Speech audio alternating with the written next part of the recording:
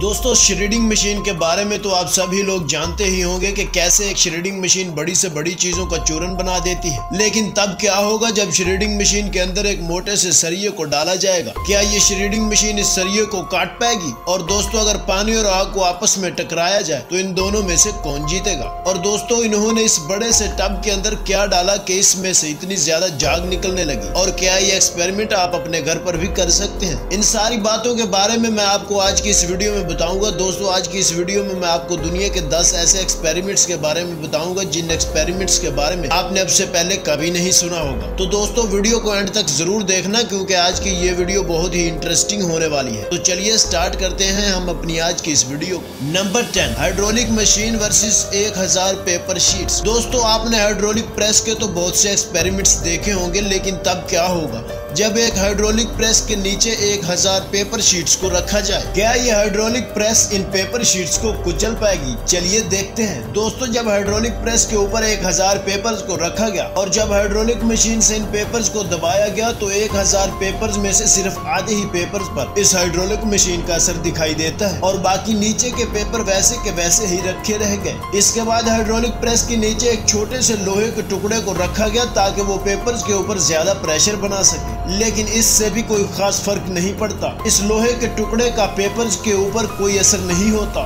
ना तो पेपर कहीं से फटता है और ना ही कोई पेपर में प्रॉब्लम होती है। लेकिन इसके बाद जब इन पेपर्स के ऊपर लोहे की एक पतली सी चादर को रखा जाता है तो इस लोहे की चादर की वजह से इन पेपर्स के ऊपर इतना ज़्यादा प्रेशर हो जाता है कि ये आधे पेपर्स दरमियान में से फट जाते हैं। Number nine Coca Cola Sprite versus Mentos दोस्तों, क्या होगा जब कोल्ड ड्रिंक्स के बहुत सारे ब्रांड्स को एक बाल्टी में डालकर उसके अंदर मेंटोस को डाला जाएगा? आप में से कुछ लोगों ने कोका कोला और मेंटोस के एक्सपेरिमेंट्स को तो देखा ही होगा। लेकिन अगर सारे कोल्ड ड्रिंक्स ब्रांड्स को एक साथ मिलाकर उसमें मेंटोस डाला जाए तो ये एक्सपेरिमेंट्स आपने पहले कभी नहीं देखा होगा। सबसे पहले चार बाल्टियों में कोल्ड ड्रिंक्स से बहुत से ब्रांड्स उनमें भर लिए जाते हैं और फिर इन चार बाल्टियों को रेत में गाड़ दिया जाता है। और फिर इन ड्रिंक्स के अंदर थोड़ा सा शैम्पू भी डाला जाता है, जिससे ये के इसमें जाग अच्छे से बन सके। और फिर इसके बाद एक अलग बाल्टी में सोडा पाउडर और मेंटोज को मिक्स कर लिया जाता है। इन सब का मिक्सचर बनाकर चार डब्बों में भर लिया जाता है, ताकि ये बाकी कोल्ड ड्रिंक्स वाली चारों बाल्टियों में डालते वक्त आसानी रहे और फिर इन चारों बाल्टियों के अंदर अलग अलग कलर्स भी डाल दिए जाते हैं। इसके बाद जब इन चारों डब्बों को इन बाल्टियों के अंदर डाला जाता है, उसके बाद इन बाल्टियों के अंदर से जो फोम निकलता है, वो आप अभी अपनी स्क्रीन पर देख सकते हैं। दोस्तों, इस एक्सपेरिमेंट को आप अपने घर पर भी ट्राई कर सकते हैं और आप में से कुछ दोस्तों ने शायद इस एक्सपेरिमेंट को घर पर ट्राई भी किया हो। तो जिन्होंने इस एक्सपेरिमेंट को अपने घर पर ट्राई किया हुआ है तो क्या आप भी कोल्ड ड्रिंक से इतना ही ज़्यादा जाग निकाल पाए थे? कमेंट करके ज़रूर बताइए। Number eight 1000 degree knife versus lighters दोस्तों, क्या होगा जब 1000 डिग्री पर गर्म की गई छुरी को लाइटर के ऊपर रखा जाए? क्या लाइटर्स में आग लग जाएगी? तो चलिए इस एक्सपेरिमेंट को करके देखते हैं। सबसे पहले एक छुरी को 1000 डिग्री तक गर्म किया गया, जिससे ये छुरी पूरी तरह से लाल हो गई। उसके बाद जब इस छुरी को चॉकलेट्स के ऊपर रखा गया तो ये सारी की सारी चॉकलेट्स आराम से कटती चली गई। लेकिन जब इस लाल छुरी को एक लाइटर के ऊपर रखा गया तो ये लाइटर दरमियान से हाफ़ हो गया और इसके अंदर की सारी गैस निकलने लगी, जिसमें से कुछ गैस निकल कर नीचे भी गिर गई। और जब इस गैस में आग लगाई गई तो इस गैस ने बहुत जल्द ही आग को पकड़ लिया। इसके बाद जब इसी छुरी से दो लाइटर्स को काटा गया तो इन दोनों लाइटर्स को काटते वक्त इसके अंदर से निकलने वाली गैस को साफ़ साफ़ आप भी देख सकते हैं।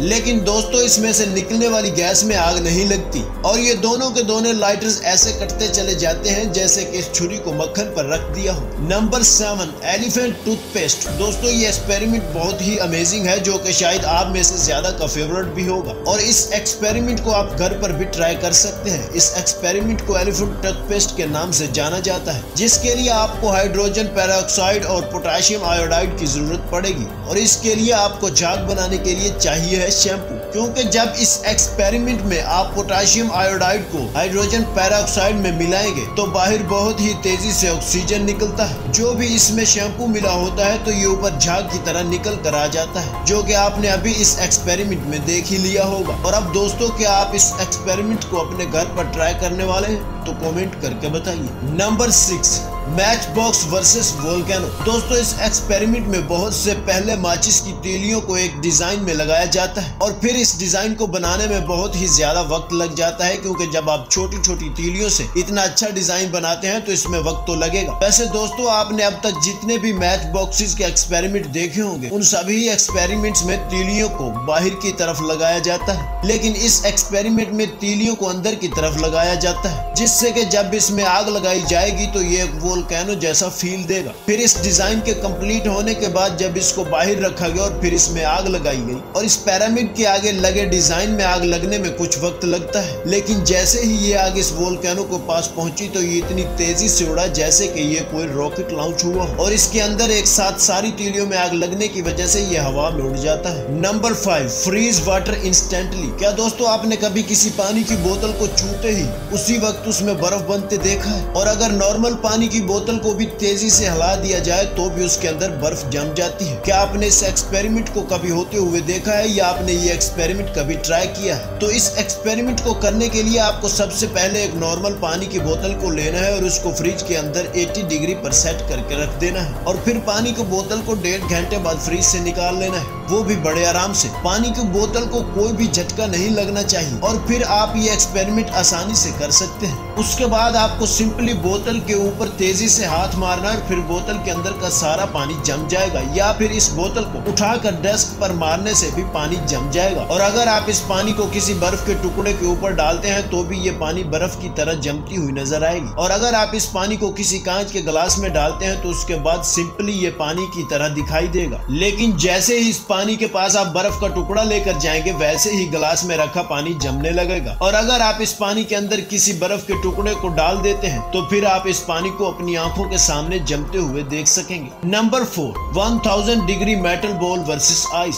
दोस्तों, इस एक्सपेरिमेंट में एक मेटल की बॉल को गर्म करके बिल्कुल लाल कर लिया जाता है, जिसका टेम्परेचर 1000 डिग्री से भी ऊपर चला जाता है। और फिर इस बॉल को एक आइस के टुकड़े के ऊपर डाला जाता है, जिसके बाद ये बॉल आइस के टुकड़े में नीचे तक सुराख करते हुए चलती जाती है और आइस तेज़ी से पिघलने लगती है। इसके बाद जब एक स्क्वायर आइस के टुकड़े पर जब इस लाल मेटल के बॉल को रखा जाता है तो ये बर्फ़ फ़ौरन ही पिघलना शुरू कर देती है। और फिर इसके बाद जब इस बर्फ़ के टुकड़े के ऊपर तीन तीन बॉल्स को रख दिया जाता है, उसके बाद तो ये पूरे बर्फ़ का टुकड़ा पानी बन जाता है। Number three fire crackers versus toilet दोस्तों, क्या होगा जब एक टॉयलेट के अंदर बहुत सारे पटाखों को डाल दिया जाए? क्या टॉयलेट सीट फट जाएगी? चलिए इस एक्सपेरिमेंट को करके देखते हैं। इस एक्सपेरिमेंट में टॉयलेट के अंदर चारों तरफ़ से बहुत सारे फायर क्रैकर्स को डाल दिया जाता है और इसके साथ साथ इसको ऊपर से बंद कर दिया जाता है। और फिर जब इसके पटाखों में आग लगाई जाती है तो ये सीट के अंदर रखे सारे पटाखे जलने लगते हैं और अंदर ही अंदर फटना शुरू हो जाते हैं। ये टॉयलेट सीट ऊपर से बंद होने की वजह से इसमें से कोई भी पटाखा बाहर नहीं निकल पाता। लेकिन जैसे ही इसके सारे पटाखों में आग लगती है